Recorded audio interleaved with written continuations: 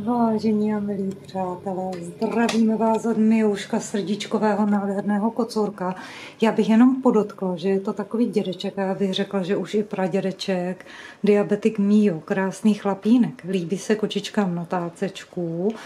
Já se domnívám, uvidíme, jak to všechno vyjde a tak dále v rámci rekonstrukce a tak dále, se kocourek ocitl v kuchyni a má tady svoji lásku. Víte, kdo ho miluje?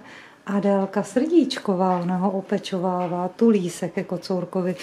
Já bych k Mijouškovi ale chtěla říct, že už máme zvýšený i ledvinový hodnoty. A ono, přátelé, to totiž není vůbec žádná legrace u kocourka s diabetem, takže my musíme být velice obezřetní. Jediný, co můžeme, tak dáváme kocourkovi vlastně podporný prostředek na ledviny a on je úžasný, on si drží váhu, užívá inzulin, teď se nám podařilo zase, protože v rámci jakéhokoliv stěhování a tak dál, děláme eh, diagram diabetický, tak se nám drží ty hodnoty jakoby krásně, Kocůrkovi se daří, on je nekonfliktní, on je úžasný.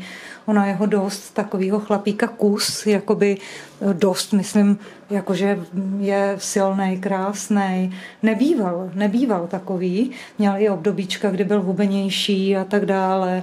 No je úžasný a on vám chtěl říct, že se má fajnově, ale že nad ním bdíme, že se o něj staráme, se, že nám síly stačí a, a že potřebujeme ho mít v oku a že opravdu se ta situace, jakoby teďka vlastně ty hodnoty naměřené toho cukru v krvi se nám daří držet krásně, takže jsme spokojení, ale je to stařeček, je to chlapínek, on má takový ty už v očičkách takový ty mapy toho stařecký, stařecký takového toho starého kocourka, a velký příběh má za sebou. Když k nám přišel do útulku, tak eh, v podstatě on byl dlouho srovnáván na Pražské veterinární klinice.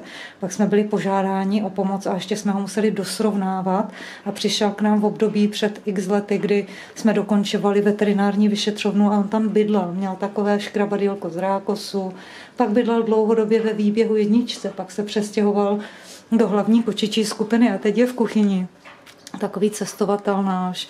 A my jsme v té hlavní kočičí skupině měli problém s krmeničkem. A protože jsme museli vlastně, co se týče Mijouška, eh, upravit to krmení ostatním kočičkám, ale pak jsme najeli na takový proces, že tam bylo, eh, pak novinka přišla, že celý den jídlo tam měl, ale dostával ty své dávky ráno a večer a ono to šlo, ale tady to vypadá, že se mu daří lépe. Helejte, kdo jde, je parádnice krásná. Takže přátelíčkové, mějte se krásně, děkujeme, nashledanou, ozveme se zase. A ona eh, ho vlastně Mijouška miluje, takže Mijoušek se k ní tulí, kadelce, takže eh, já ho držím zkrátka, protože ona tady dopapává gadgetka, nechce, aby do toho šel Mijoušek, takže Zkrátka dobře, mějte se parádně, děkujeme, nashledanou, ozveme se zase.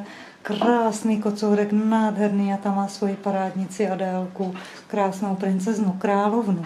Jo, tak už to, takhle, ty jsi maličká proti němu, ty jsi malulinkatá. No, ona ho miluje kocourka, tulí se k němu na lavici, někdy si to natočíme. Krásná Adélka, nádherná, naše paní učitelka, magistra úžasná. Takže mějte se krásně, děkujeme, nashledanou, ozveme se zase.